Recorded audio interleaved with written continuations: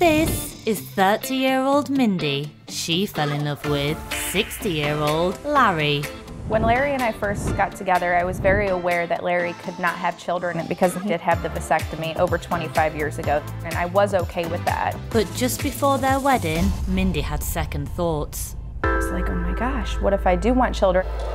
Larry took up the challenge, but their journey to conceive hasn't been easy. With numerous rounds of IUI and IVF, I decided to do the pregnancy test at home. We're pregnant now and expecting a baby. the couple shared their news online, but received a lot of hate because of their age gap. He's gonna be dead in five minutes. Why are you having a baby with this old man? Oh, that's so nice. The grandfather came to his graduation. Where's the father? Are you very hungry? Sure. Okay. Would you like some apples? Sure. Hi, my name is Mindy, and I'm about to have a baby with my husband Larry, who is 30 years older than me. We met each other when she had a minor traffic crash, and I was the responding officer to take the report for the traffic crash. Here you go, babe. Thanks, Mink. We fell in love, we got together, and it just felt so natural and lovely, but we definitely didn't expect it. We weren't looking for it. When Larry and I first got together, I was very aware that Larry could not have children, and I was okay with that. And then about a month before the wedding, I was like, oh my gosh, what if I do want children? I have to tell him before we just get married. I have to let him know. After initial concerns of not being able to have a biological child, Larry agreed to try for a baby. We knew that we couldn't naturally get pregnant because Larry did have the vasectomy over 25 years ago. After three failed IUI procedures using donor sperm, our fertility team really pushed us in the direction of IVF. And so we dabbled down that road and decided to use Larry's sperm and have our baby together. It is a very pricey procedure, and then you're putting your body through a lot of hormones to be able to get pregnant A lot of painful injections for her. which he had to administer all of my shots. So far, we're checking my bladder to make sure it's full. If it's full, we're good to go. Yay! Three, two, Was that it? yes. Oh my god! Around Christmas time, I decided to do the pregnancy test at home, and we laid it on the table after I had, you know, done the test, and we flipped it over together and looked at it together. Oh god, please. Oh my god, it is!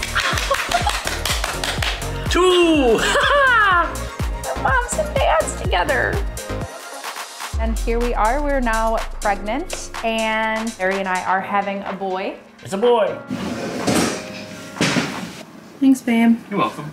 I really don't think I get judged too much about the age gap relationship from family and friends, but online, still definitely sometimes you get the judgment.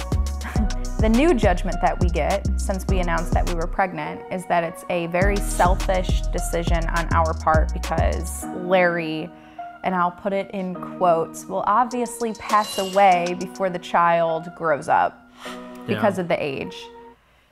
People at his graduation are gonna think, oh, that's so nice. The grandfather came to his graduation. Where's the father?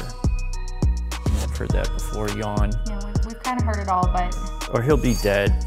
I might be. I could die tomorrow. Our friends and family were so excited to find out that we were pregnant, and everybody's just been so sweet and supportive, and they're really excited to meet our little one, which is really nice. So, this is where the baby's gonna be staying, and then we have the crib. The crib. As you can see, it is in a box, and Larry, do you so kindly want to build it for me? I'll do it. We are so excited to have this baby together. Ready. Uh oh. Oh. Thanks. yeah! It's not cooperating. I have a son who's 30 years old, and when he was growing up, I was on call 24 hours a day, and there was a lot of things I missed because of work, and I don't have that now. Larry's son Bruce just came down for a visit, mm-hmm. and he's very excited as well. And he's looking forward to meeting him once little one does arrive. Yeah. He'll have a brother. So it feels amazing finally getting to decorate the baby's room. For such a long time, it was a guest bedroom. And now we're finally here. It makes it feel so surreal and that he's due any minute, like he's coming, and that's very exciting. That's heavy. Is it heavy or is it stuck? Uh, I think it's heavy. Got it. I've got it. Larry and I have never really talked about the problems of him being an older dad and what that could possibly mean down the road. We live in the moment. I mean, we're not naive, you know, in that way, but you can die at a young age. You know, that doesn't, to me, that. I don't think they sent instructions. I think they're in here. Oh, are they? This is like an envelope, I think. Just the fact that we know that Larry and I will be able to provide shelter and love and food and safety, that's what's important to us. This is the part that's never, never easy.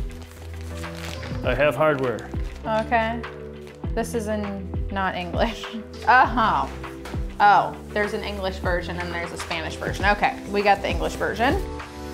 So excited to be a first time mom and so excited to have Larry by my side. And like he said, he's able to be there with me and help. And he's just, he's amazing.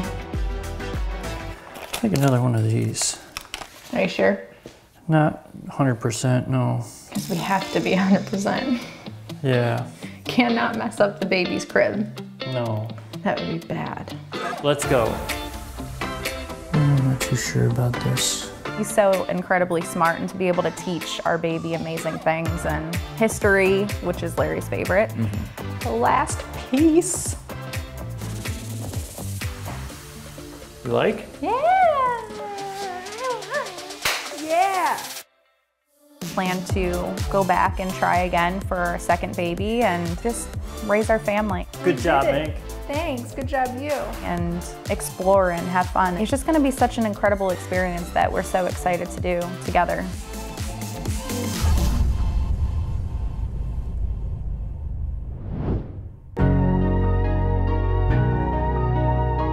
We have two trans kids. Anyone can be whoever they want. I'm just owning it. Our family is seen to be very unconventional. So I had kids and I can't be hot anymore. Like moms are hot too. People say I look like a pug, but I love pugs. I take that as a compliment. I'm bored of people thinking that I cannot be intimate. I'm a young, single, hot piece of disabled booty. I feel like I'm going to look at myself and be like, who is that? Life is way too short to be hiding. It is my story, it is my truth.